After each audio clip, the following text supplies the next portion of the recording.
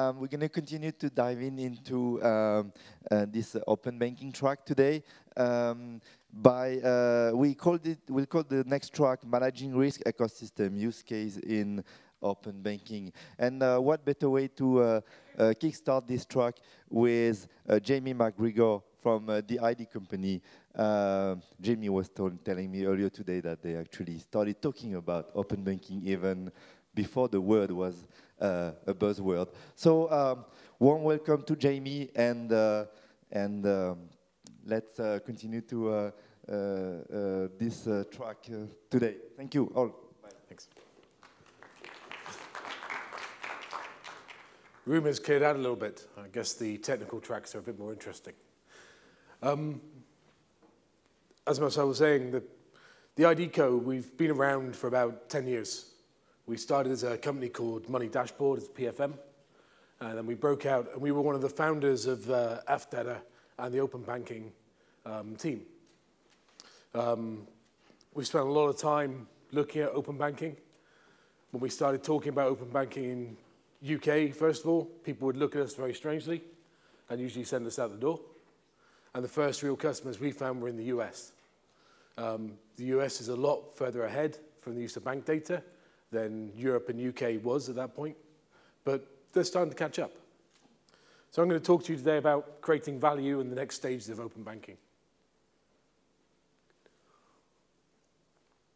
So we've talked about this a couple of times today around where is open banking at the moment.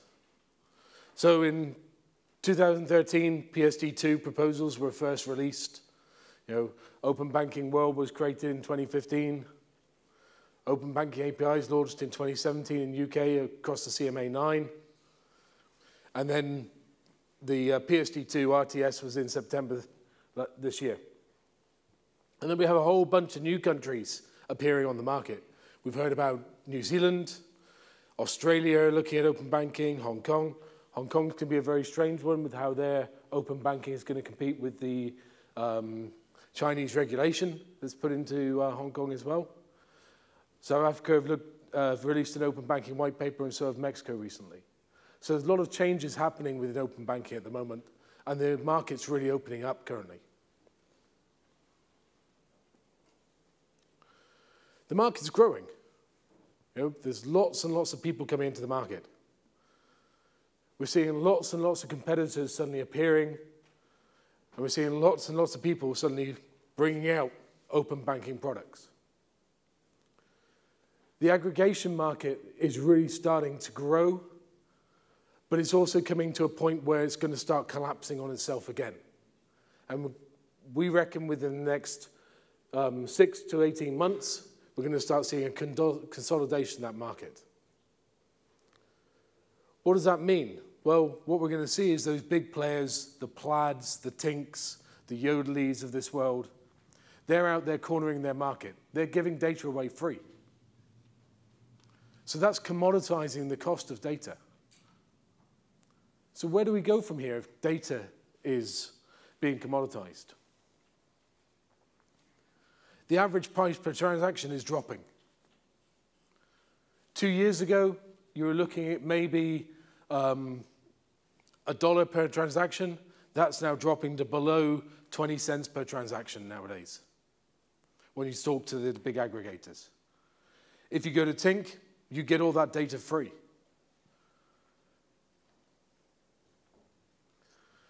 If the data is free, where does the value come from?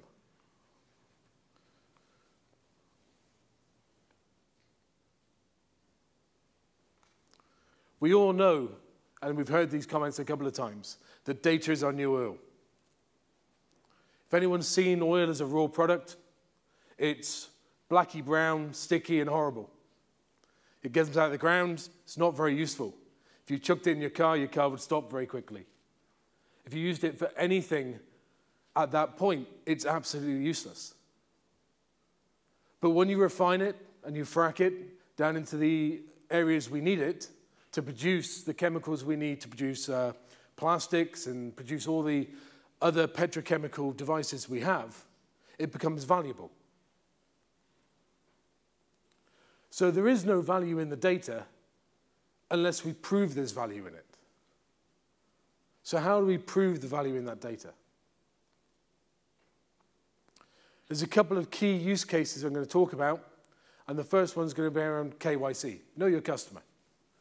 This is one of the biggest ones we've been talking about with most of our people in the, around, is what is know your customer? How do we do it? So, account verification, very, very simple. As an AISP, you can go in and you can make sure the account the person's telling you is, is their account. Identification becomes a little bit more difficult. Um, in Open Banking Spec version 3, which has just been released, account holder name is one of those key pieces within it. Anyone here work as an AISP or have looked at the account, uh, the Open Banking version 3 specs? There's a lovely piece in it that says that the account holder name must be produced as per a previous channel.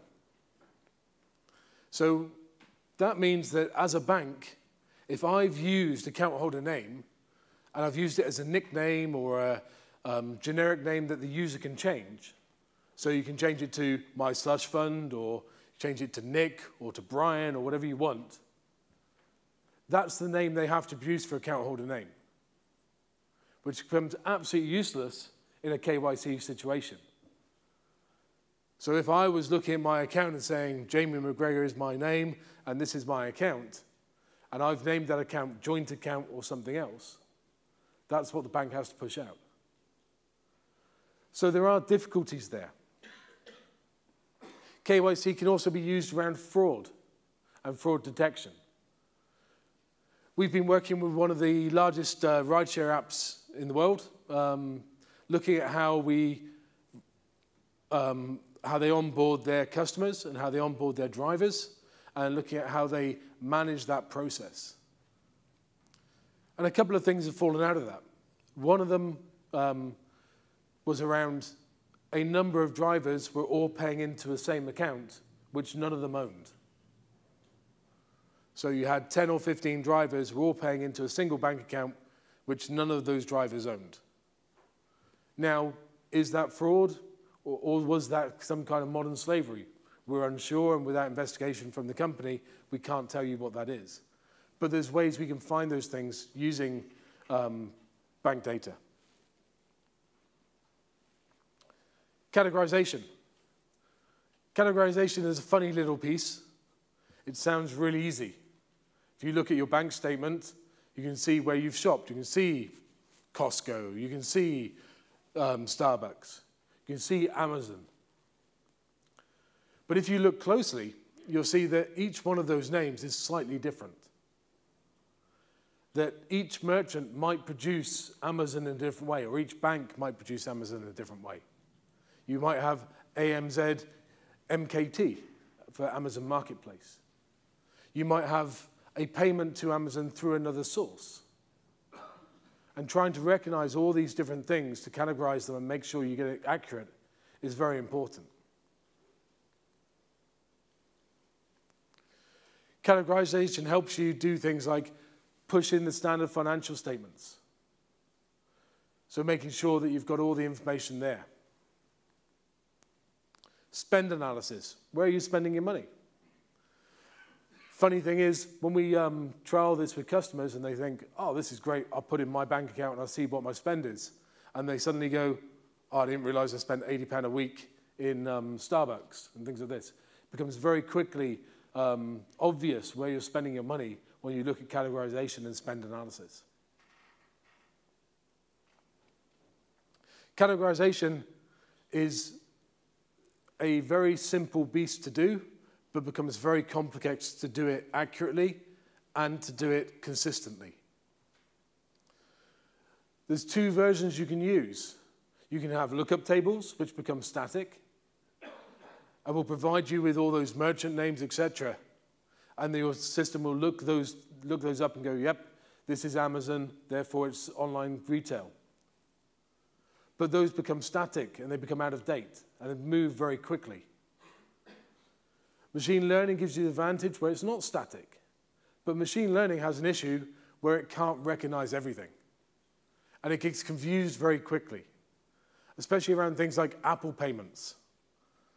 Now, an Apple payment is not a payment to Apple. It's an Apple payment to something else. Machine learning finds it very difficult to recognize that something else. You could use merchant, the um, bank merchant codes. They're really good. Um, within version 2 of uh, Open Banking Standards, merchant codes were released, but not every bank has to release them. They're an optional feature. Also, not every bank has the same merchant codes. So how do you then get the proprietary merchant codes from different banks? You need categorization up to about 95% accuracy for other functions to work because they use the categorization models to then produce other pieces. In particular, things like asset verification um, and credit and risk analysis. Income verification, another really simple feature that you can get very quickly out of open banking. The big question is, what is income? Is income a payment from a, an employer into your account? Is income a pension? Is income rental money that you get from a suite of rental pro properties that you own? Income is all these things and much, much more. Income could be child support payments you get from, a, from, a, from an ex-partner.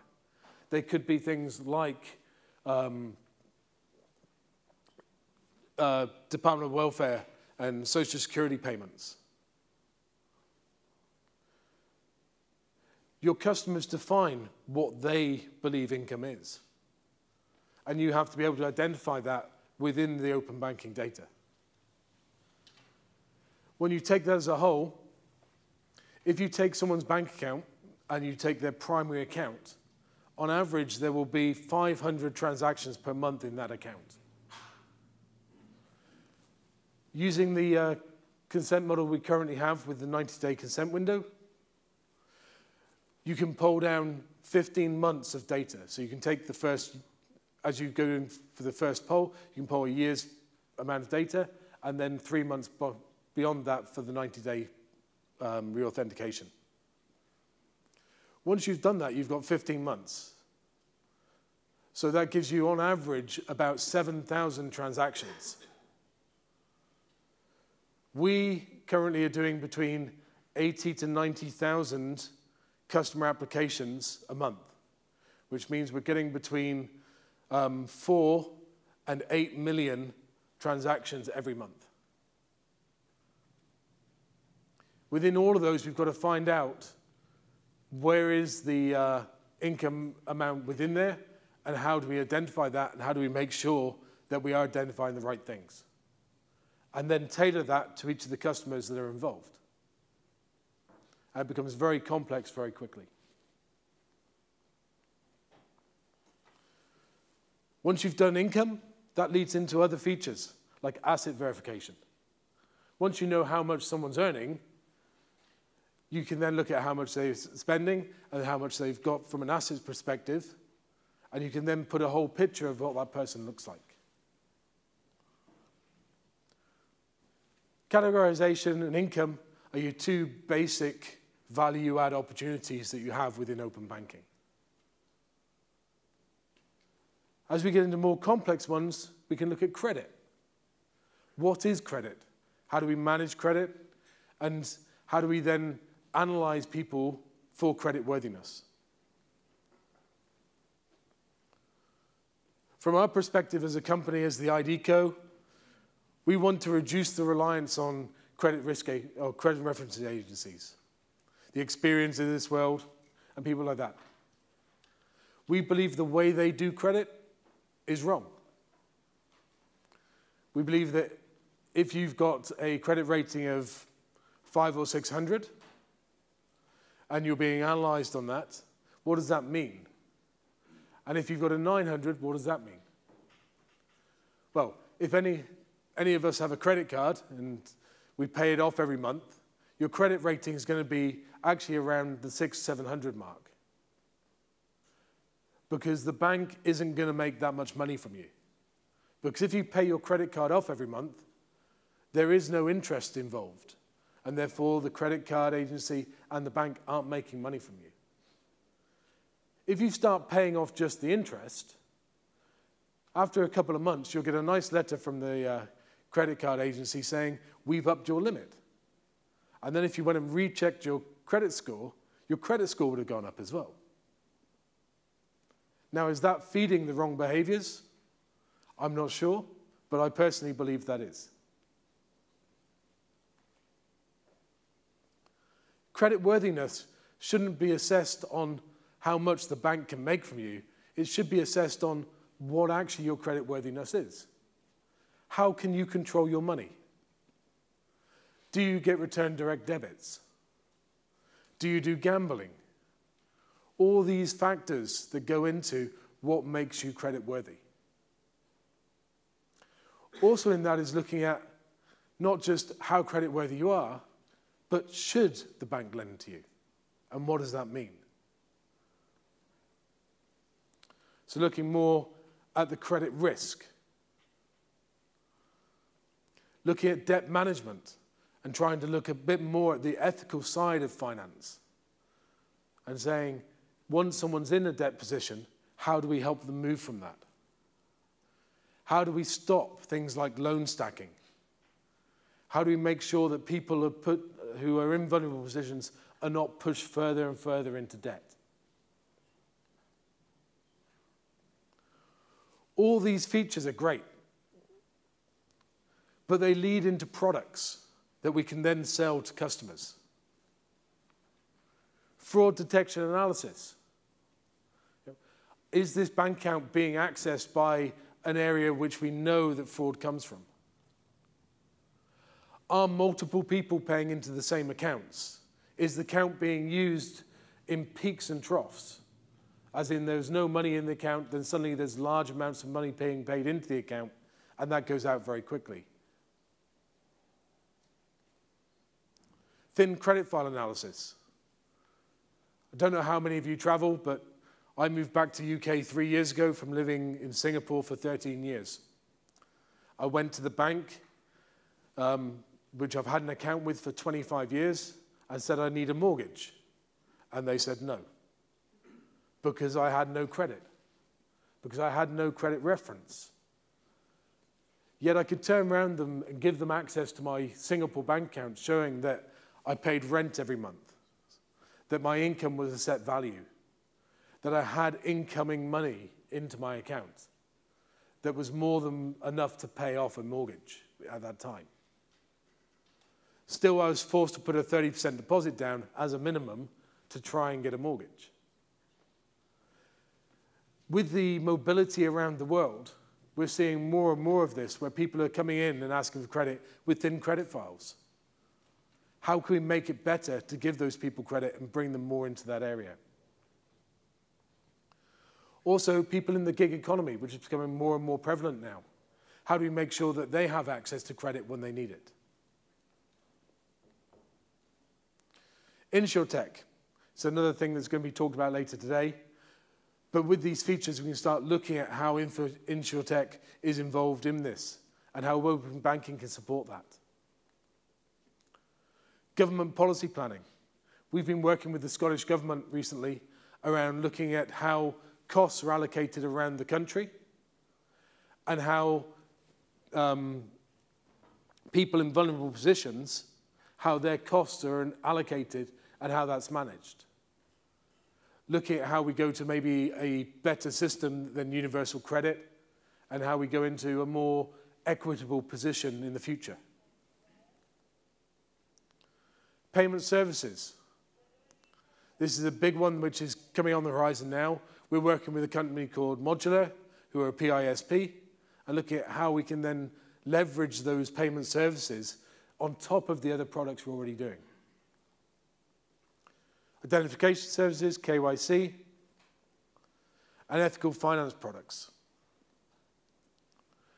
When to give finance and when not to give finance. And we personally believe the when not to give finance is more important than the when to give finance. We see a lot of people putting themselves into debt positions, and that needs to be managed, and it needs to be done in a more ethical way within our, within our environment and ecosystem. So, what's the elephant in the room around all this? What problems are we seeing, and how are we addressing them? We have all the data in the world. Uh, last count, we have just over 200 million transactions from a UK perspective and just under half a billion transactions from a US perspective. But looking at all that data is great. Makes your mind go very funny very quickly. But we already know machine learning isn't the full answer. You've just got to look at the algorithms that have been put in place recently. Apple have, Apple have turned around and been accused of being sexist against their female um, card owners, where they're um, getting a less, lesser value of credit than their uh, male counterparts. We're seeing lots of problems around algorithms um, when you look at the, in the unintentional bias that's being put into these algorithms by the data that's being pushed into them. And we need to be aware of that whenever we're using machine learning. Screen scraping versus open banking. I'm going to say something very controversial here. Screen scraping currently gives us more data than open banking. Either the specs haven't been followed as much as they should have, or we're getting information back which is actually useless in the, in the way it's being presented to us. Customer trust. Everyone's talked about climate change versus global warming. Now, global warming, we can all turn around and say doesn't exist because actually some places are getting cooler, some places are getting hotter. But climate change, we all agree, does exist. The same nomenclature is the problem with an open banking.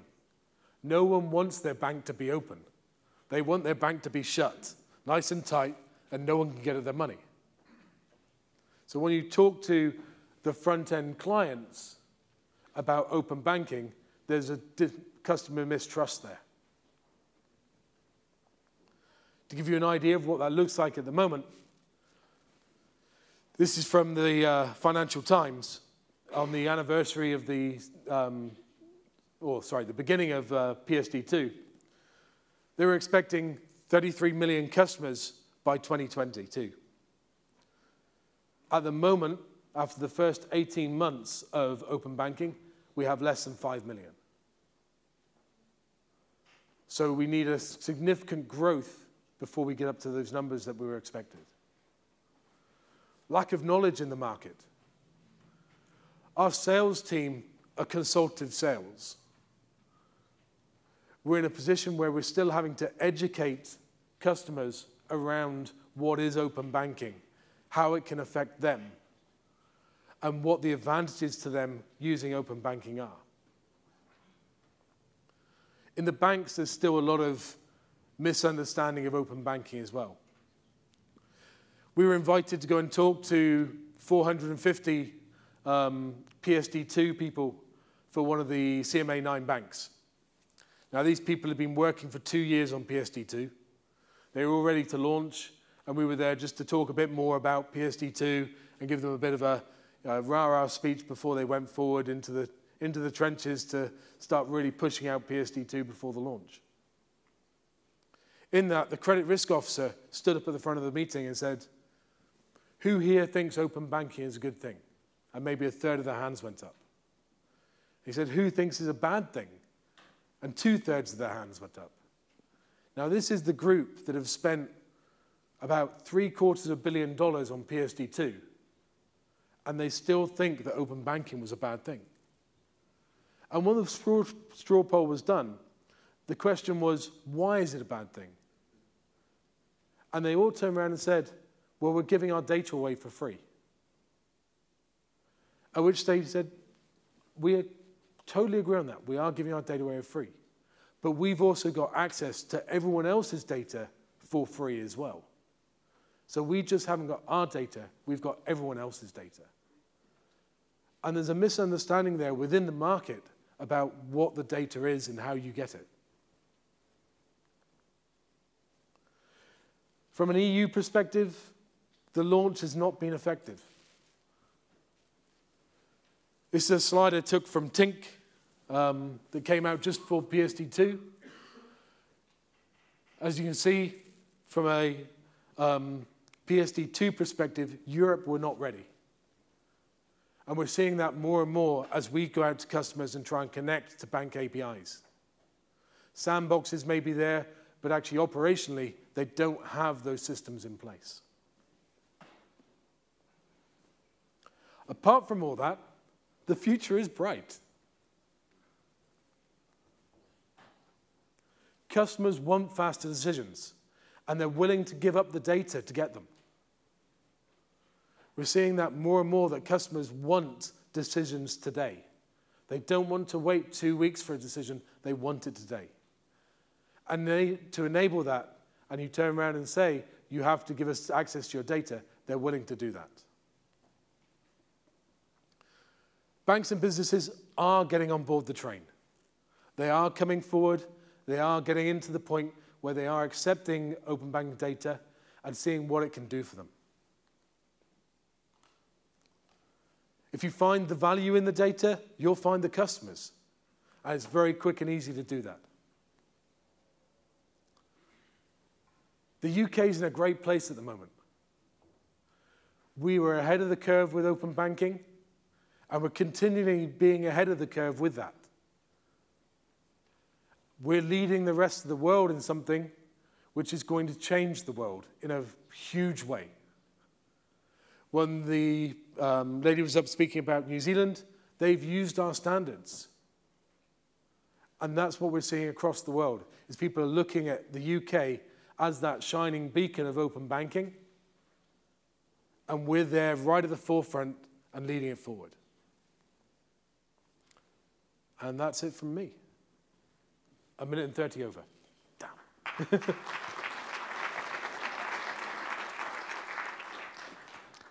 Thank you. Questions? We have time for two questions. Raise your hand.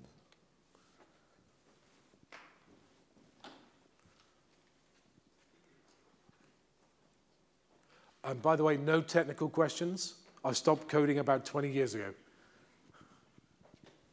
Thanks. Um, just interested in what are the biggest difference, uh, the differences that you see between the data available in screen scraping and, and open banking, and have you fed that back in you know, to people like Chris earlier on, because you could probably produce a stack load of data around that, demonstrating why one's currently richer than the other, but just interested in the main differences that you've seen.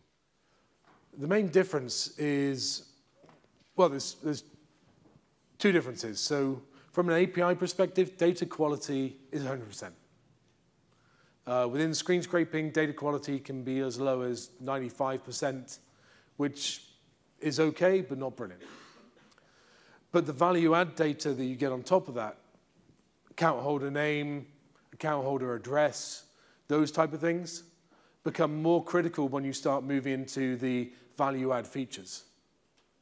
So it's not that you get cleaner data, but you get richer data at the moment from screen scraping because within open banking, the speci specifications haven't really been followed as we would like. Yes, we are feeding that back to the OBIE. We are feeding that back through FDATA as well to try and pull that together. Um, but this is where we get into that whole regulated issue of the banks have a say in the regulation and therefore they want the regulation to be as non-onerous to them to implement as possible.